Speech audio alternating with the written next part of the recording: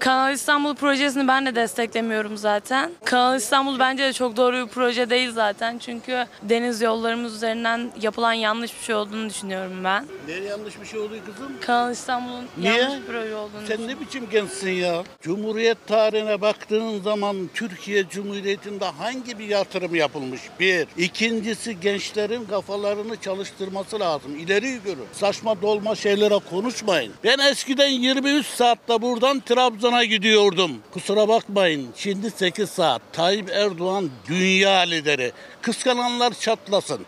Dünya onun peşinde, benim içimdeki kuş beyinliler ne yazık ki onun peşinde. Yıkalım Tayyip Erdoğan'ı, Türkiye Cumhuriyeti vatandaşlarının hepsini affedersin kul köle yapalım. Ben çok Atatürkçü bir insanım ve tarihi de cidden çok okuyan bir insanım. Evim çok tarih kitapları doldur benim. Ee, ben abi sana şöyle bir soru sormak istiyorum. Yol yapmakla ülke yönetiliyor mu? İnsanın kan damarı nedir? İçindeki yoludur. Yol olmayan bir devlet neye yarar? Eskiden senin her şeyin vardı diyorsun. Neyin vardı? Cumhuriyet tarihinden bu tarafa düşün bakayım. Ne, neyin vardı? Abisi ne abisi söyle bakayım. Ne yapmış bu zihniyet buraya? Cumhuriyet tarihinden bu tarafa ne yapılmış? Abi e, fabrikalarım fabrikalarımız satıldı. Nereye satıldı? Özelleştirildi. Abi şeker fabrikaları Özelleş- satıldı. Bilmem ne fabrikaları satıldı. Niye yalan söylüyorsun? Gidip Satıyorsun.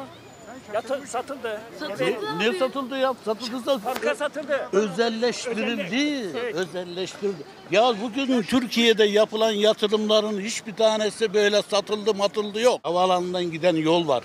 Adam orayı özelleştirmiş. Mesela 20 sene yapan müteahhit orayı kullanacak. Ondan sonra orada devlete geliyor. Siz böyle düşünüyorsunuz. Hemen sattı burayı devlet. Neyi sattı ya? Abi Havaalanında yaptığı zaman aynı karşı çıktınız. Birinci köprüyü de, ikinci köprüyü de, üçüncü köprüyü, Marmaray'ı da. Ama şimdi benden çok kullanıyorsunuz.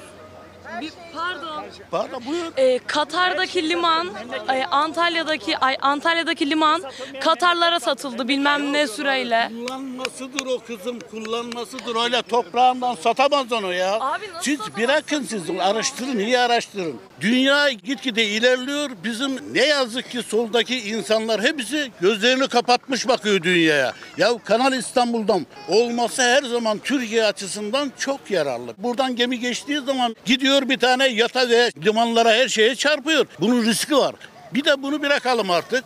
Bunun bir de maddi tarafı var. Oraya yapıldığı zaman Türkiye'nin buradan ne kadar para alacağını biliyor mu herkes? Bütün onların zaten yaptıkları limanlara, köprülere, bugün yer altından yapılan geçitlere, hepsine, tünellere, hepsine karşı çıktılar. Onların iş yapacağı yok. Türkiye'yi batırmaya çalışıyorlar. Dünya lideri Tayyip Erdoğan'dır. Bunu bir kafanıza koyun. Başka adam tanımam. Ben Tayyip Erdoğan'la Ekrem İmamoğlu'nu hiçbir zaman bir arada kıyaslamam için birisi bir buçuk kilo, birisi 50 gram. Aradaki fark bu. Gördük. 3-4 senedir yaptığı faaliyetleri gördük. Ne yaptı? Erdoğan'ın yaptığı tünelleri tamamlıyor, açıyor. Başka ne? Ya onlar kendilerini affetsinler. Onların afına bizim ihtiyacımız yok ki. Onlar av kulağının arkasını görürse iktidarı görürler. Hele de şimdi 6. basayı kurdular. Türk milleti üzerinde oynanan oyunları gençlerin hepsini iyi dikkatli izlemesi lazım. Altılı masa 6 aydır belki de bir senedir uğraş uğraş dön keman dön. Yemek ziyaretinde Mehmet onların lider çıkaracağını yok. Onların 7. masa kürsüsünde duran insan var. Kılıçdaroğlu oraya oturulduysa uzaktan komandayla yeni bir uzaktan komandayla oraya bir vekil yani aday gösterilecek. Başka bir şey yok. Türkiye üzerinden oyunu herkes gözünün önüne alsın. 2023-2035 Türkiye süper güçler arasına girecek. Bunu hiç kimse inkar edemez. Tayyip Erdoğan'dan başka lider tanımam dünya. Dünya lideri çünkü adam. Var mı? Dünya lideri, dünya. Genel mahiyette acizliğini görüyoruz zaten. Çok aciz bir insan olduğu için öyle fırsatını ele geçirdiğim zaman fırsatçı bir insan olduğunu zaten belli ediyor o haliyle. O yüzden Cumhurbaşkanı tehdit etmek, devletin en üst makamındaki büyüğümüzü tehdit etmek öyle yürek yemiş olarak görüyorum kendisini. Kendi basitliğini, devlet erkanını bilmemezlik, den o bilmemezlik zaten vardır geçmişten bu yana. Kazan kaldıranları bilir tarih. O yüzden bu adamlar sürekli bu şekildedir. Geçmişte yaptıkları gibi, geçmişte insanlara zulmettikleri gibi Müslümanların iktidarda olmasını, muktadir olmalarını hazmedemiyorlar kendileri. Yıkmak dünyada en kolay şeydir. Bir masaya bir tekme vursun ve yıkılır. Zor olan yapmaktır. Sayın Cumhurbaşkanımız da bugüne kadar hep yapmıştır ve onun yaptıklarını yıkmak için mücadele ediyorlar. Onlar kendi misyonlarına, kendi inançlarına uygun hareket ediyor ve bizler de yapmak için gayret edeceğiz. Bu yönden 2020 sürecinde Cumhurbaşkanımızın yanında dimdik durmaya devam edeceğiz inşallah.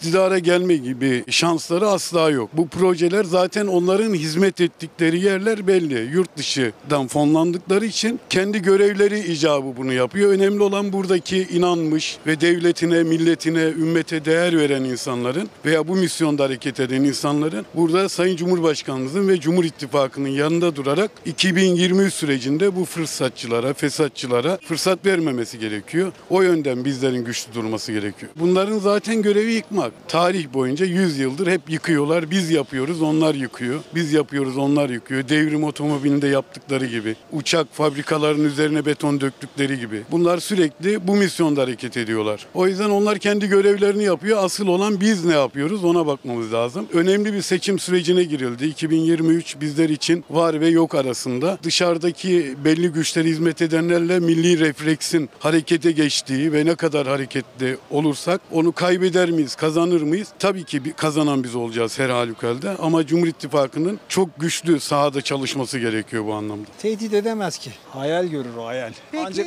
hayalini görür onu. Niye böyle şeyler yapıyorlar? Bu güzel ülkeyi yönetmek var ki birbirlerine çekişmeye ne gerek var? Güzel güzel projeler yapıp güzel şeyler sünseler, iş sahaları açılsa daha güzel olmaz mıydı? İş yapsın iş. İş yapanın önüne taş koymayacak. İş yapacak ki millet de onun yaptığı işi görecek. Diyecek ki iş yaptı diyecek. Yalan başka bir şey yaptıkları yok onların ya. Laf yalan yalan yalan. Hep uydurma hep uydurma. İktidar çekişmeyle gitmez. Birlik beraber olduğu zaman bu ülke kalkınır. Ama birlik beraber biri sağa çeker, biri sola çeker. Çekersen ip kopar, her şey Millet yok zararını- olur. Millet zararını görür. Yapana Türkiye yap- zararını görüyor. yapana Türkiye yapıyor zararını diyeceksin. görüyor. Türkiye zarar görmemesi için birlik olmaları gerekiyor. Yani çalışsınlar, yapsınlar. Onlar da takdir edilir. Ama yapmıyorlar. Yapana da yalan atıyorlar, iftira atıyorlar, uyduruyorlar, uyduruyorlar. Öyle işi yürüteceğini zannediyorlar. Tehdit ettiği Kimse zaman kimseyi tehdit karşısında etmemesi gerekir. tehdit edeceği kişi tehdit edilecek kişi değil. O anca düştüğü yeri yakar derler ya öyle olur yani. Başka bir şey olmaz. O söylemlerin hiçbir tutanağı yok. Tutarlılığı yok. Dayanağı da yok. Hiçbir şey yapamaz. Ama sadece ne yapıyor? İşte seçim için konuşuyor öyle. Bunlar boş tehditler.